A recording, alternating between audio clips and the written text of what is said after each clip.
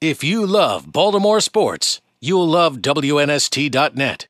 Welcome back in. Final segment. This is Thursday Night Live with Dennis Pitta here on WNST. We are live from Greenmount Station in Hampstead up here in Carroll County. Carroll has come to play tonight. Let me tell you that. They have come to play. Fremont Mortgage brings the show if you're looking to buy or refinance a home. Don't make a 30-year mistake by choosing the wrong lender. 800-955-8508. There's never an application fee, underwriting, processing, and closing, all done right there in the local office. Rates are at record lows. This is going to be the last mortgage you will ever need to take out. Why would you risk it with someone else? Call Fremont Mortgage at 800-955-8508 or visit fremontmortgage.com, NMLS 1071. Give it up again for Dennis Pitta and Gino Gradkowski, ladies and gentlemen. Dennis, next week, are you doing the reads? What? You, you, next Want me to week, do the reads next I want you to do one of the reads next week. Okay. All right, are you willing to do one? Yeah. I feel like just getting you, you. I do appreciate that you wore the hat. Yeah, I, I do what you tell me. Did you remember to wear the hat from last week, or was it because I texted you? No, I remember. Then you text me, and then I really remember. I, you can be honest. You weren't going to do it, were you? No, I was. I really was. You were just. You were thinking about not doing it just to make me mad. that I was thinking. I figured that. I feel like we've got a little bit of a rivalry, you and I. I just hope that we don't ever have to do anything that involves like a physical competition, because other than the, the milk challenge, which we're still on. No. no. I want to. Well, yeah. Okay, we're still on because you have to do it in order Right, to correct. attempt it. When I accomplish the milk challenge, then you have to do it as well. Yeah, I'm doing it. I don't think you understand. I'm doing it. I'm doing it only because I want to see you do it. I'll practice for weeks in order to make sure I can do it. You're gonna you're gonna drink a gallon of milk Oh, I, yeah. just to practice. I don't know if you've looked at me recently, but clearly I have no respect for my own body. So I'm actually fine with doing offensive lineman out, because I assumed that if we could get a good eating story, he's probably a big eater. probably come from Gino Gradkowski. Gino, we were talking last week, we were up at uh, Buffalo Wild Wings, and we were talking about monumental feats of eating. I'd like to think that a man of your stature probably has accomplished a thing or two in the world of eating. Nothing that comes to the top of my head. No. I mean, No, I actually have a story. Oh, okay. So, and it involves Gino. Oh, this is great. This is tremendous. So it was one of our preseason games. I don't remember which game. And uh, we're in the team hotel. It was one of the home games. I think it was our first home game. Gino looks legitimately embarrassed right now. Well, I mean, it's not. All right, all He'll be fine. Um, you know, preseason, I was, you know, out with my hand injury, so I was, you know, night before game, I was, you know, trying to have some fun, do whatever. But um, You weren't playing game. right, Right. right. I wasn't playing. So I go up. I'm walking back to my room after you know our nightly meetings and all that, and um, I see Gino. And who are you? Who's your roommate?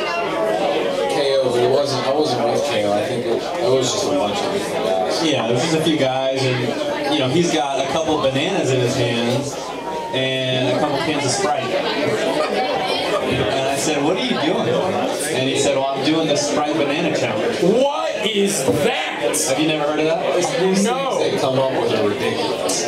Yeah. You know, I, I've actually I witnessed somebody before attempt this, and it didn't really work because I think he did it wrong. But so the challenge is you have to eat two bananas and drink two cans of Sprite in two minutes, and then it will induce vomiting. Hang on a second. the reason why I tried this was because I thought it was complete. I, I just didn't think it was. BS. I, yeah, exactly. I didn't think it was real, so I was just gonna. And you You know, said I got a couple time. bucks. I Hang got a couple bucks for it. Five, five from uh, two guys. But did it end with a reversal the way that we would expect it to? It did. So you thought it was a good idea to participate in a challenge the night before a football game that was going to lead to a reversal? It was a preseason game. I guess that's but he's a rookie. I know. They I kinda matter a little bit. Those games do matter. So. That's what I think. I don't know what he was thinking, but to be honest, it was pretty entertaining to watch. So you sat back, you said, well, I have to be a part of this. Oh, yeah. Oh, yeah. There's no way I'm not watching this guy. So you do the bananas first, Yeah, you do the bananas first. and then you just you just chug the two cans of Sprite? Yeah, he's He's what I mean. I ate the two bananas pretty fast, so I didn't really have to chug the sprites. yeah he, he left himself some time to, to Right, to his strength. enjoy I that. didn't want to. Yeah. Yeah, to to sit and enjoy the taste of the Sprite as it was getting ready to come back up. Next 4th of July. Correct. This is a great idea, by the way. I, I really didn't think it was going to work because I watched somebody else do it, and I think we didn't time them in two minutes. And it probably took five minutes or so to drink all the Sprite, so it didn't really work. But, you know, so I wasn't, I just want to see if it was going to work with Gino. You have to do it in two minutes. Yeah, it has to be under two It has minutes. to be under two minutes in order for it to work. And so he did it, you know, with probably at 30 seconds to spare or whatever, and uh, and then immediately he just said, "Oh, that Sprite baby is so sick." and he goes to the bathroom and just starts, you know, up checking, and so I wish this story ended with like, you know, one of the coaches walking down the hall and yelling in, "What's going on in there?" And you're like, "Oh, nothing, coach. Oh, just a bunch of guys having fun, typical night before the game stuff." yeah, Gino's just got some pregame jitters and getting out. I think Donovan McNabb regularly vomited before games, so it'd be just a lot like that. That's right. There we go. I've been wanting to ask you this, and I'm not because I don't like uh, having her out here, but I'm kind of glad that your wife is here because now I feel like I feel like I get a more honest answer from you. How does she handle your stardom? Let's just let's call it like it is. You've become a little bit of a, a popular guy here. Yeah. You're, you're, you're the tight end. You're the guy catching the touchdowns. You become a little bit of Mr. Popular in town. So approach you. Probably a lot of young ladies approach you. How does she handle all that? You know, I I don't really feel like you know a star or anything like that. I mean, You don't have to be humble. I know you're No, not. I mean, I'm, I'm being honest. I don't walk around town and get stopped all the time by people. You know, for the most part, people don't recognize me, which is, you know, a good thing. But, you know, unfortunately, a lot of the time I hang out with Joe Flacco. And, Yeah. you know, he's a guy that when you see him walking down the street, you can't miss him. So, Because he's seven feet tall. yeah, I think more people recognize me because I'm with Joe Flacco than if I was just by myself. So they just assume. They say, oh, that's probably Dennis Pitta because he's hanging out with Joe Flacco. Well, I was. You, have you ever had a situation where they like ask Joe for his autograph and they say, "Oh right, and you, um, Oh, no, I mean, I've, you." I mean, every time we go out, you know, somebody comes up to Joe, and I end up just taking the picture for him. You know?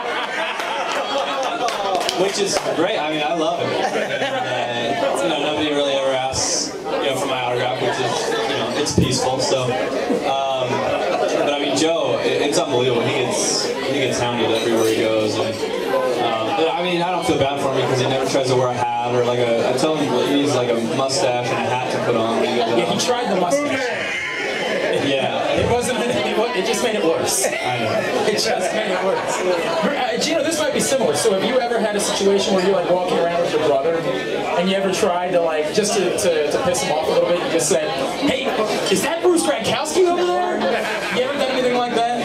No, I've never done anything like that. But I don't know. I, I never really had to worry about it because people, people would recognize him, but no, wouldn't like like Dennis said, it wouldn't be normal or, or, or uh, it wouldn't happen a lot. It wasn't like there was a paparazzi following. It wasn't like it would be with Joe around here. Right. Did, did- have you done that with Joe at all? Like where you know somebody thinks they see Joe Flacco and they can't be sure, and you just like go out of your way to make sure they know it is Joe Flacco, just to sort of piss them off a little bit. No, I mean, I've had people come to me and say, "Hey, is that Joe Flacco right there?" And I said, "No, it's not Joe Flacco." And we just keep walking. But He gets it all the time though.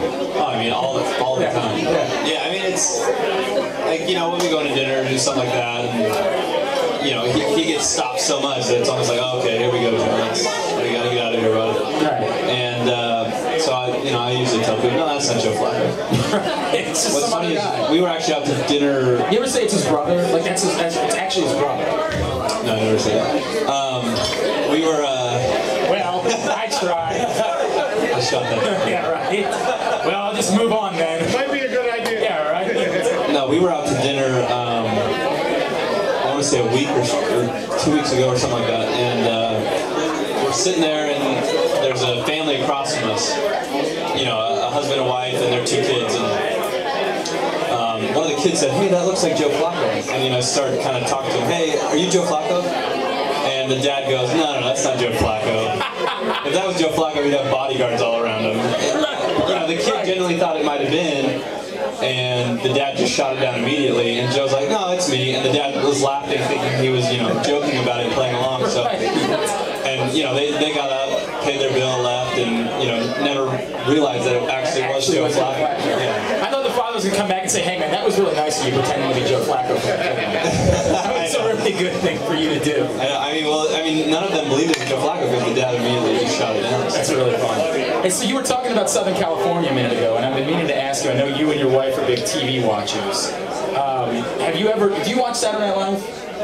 Um, yeah, every now and then. Okay. Have you seen the bit they do, the Californians bit? Oh, you know, I just watched that Okay. uh, last week, I think. Tell me that's not exactly what it's like to live in Southern California. That's exactly what it's like. I think you should take the freeway to The 101 to the yeah. I mean, I'm butchering it right now. No, I was I was hoping we would keep going with that actually. No, I realized I should stop myself. Oh, damn it. I closer and closer to, get to, to getting you to do something embarrassing. I keep I, getting right I almost, the- I almost took the bait right there. I feel like we've gotten closer over these weeks. And that eventually you're going to feel comfortable enough. In your head, we've probably gotten. Oh. Sometimes when I sometimes when I go out, I say, "Yeah, you should meet my friend Dennis." We're not. We're not. I'm just.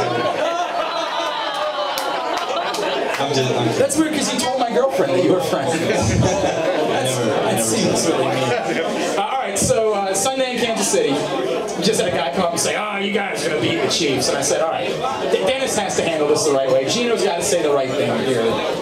This is a tough NFL football team, tough place to play. You guys just played this team in the playoffs a couple of years ago. I mean, obviously, it's uh, you know, this isn't a walkover. No, certainly not. And uh, you know, it's always tough to go on the road.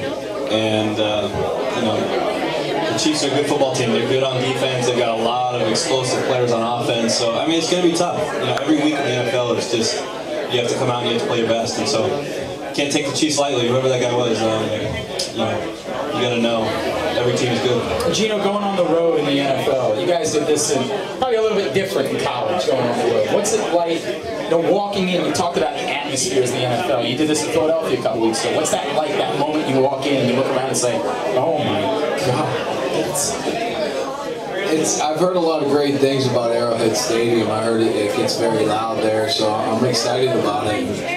Know, like Dennis said, the Chiefs are a great football team. They have a lot of great talent uh, on both sides of the ball. So, you know, this is a big game for us coming up, and, and uh, you know, I'm just excited to to uh, experience the atmosphere there because I've heard a lot of great things about the stadium. running the no huddle on the road, running the, you know, with, with everybody yelling and screaming. Is it as difficult as we think it is, or we say it is during the course of the week, or are you guys sort of laughing when we say that and you say, dude, it's not really all that much of a difference? Either one of you, it's fine. Gino just looks at me and wants me to respond. Um, no, I mean, you know, I think we talked about this a little bit last week, but it's it's always tough to go on the road and in those kind of, you know, the crowd's gonna be loud, and you know, we do so much, you know, verbal communication at the scrimmage that it makes it tough when the crowd's loud. and You can't. So, you know, we, we have signals and stuff like that. And, um, you know, our non-verbal communication really has to be good when we're out there, and. Uh, you know, that's what we've been working on all week. You know, we, we've got loud music playing in practice, so we really can't hear each other while we're practicing, so we can, you know, simulate that a little bit. But it's always tough, and you just have to be able to manage it. I actually figured out your guys' hand signals last week. I figured out that on third down you were going to bunt. I was like, that's they're going to bunt and they're going to send the runner to second base. I figured out your hand signals. Well done. Yeah, right. I worked on that for a while. You guys like barbecue, by the way? Are you Absolutely. barbecue guys? Are you gonna get an opportunity this weekend to go? The Kansas City barbecue is legit. It's really good. I've heard that. I uh, watched that show. We talked about Man vs. Food. We did. He, he went there and had all the barbecue. Uh, no, I mean, I don't know. We'll see if we can find a local spot maybe, but we don't have a lot of free time. I, Nestor said he'd take you out. He, he said he'd take you out. We're not friends. Oh, yeah. You're not friends either. You're not friends either. All right, give it up one more time for Dennis Pitta and Gino Gradkowski. everybody. Thank you guys for coming out here to Carroll County, hanging out with us tonight, having some fun. We really appreciate it.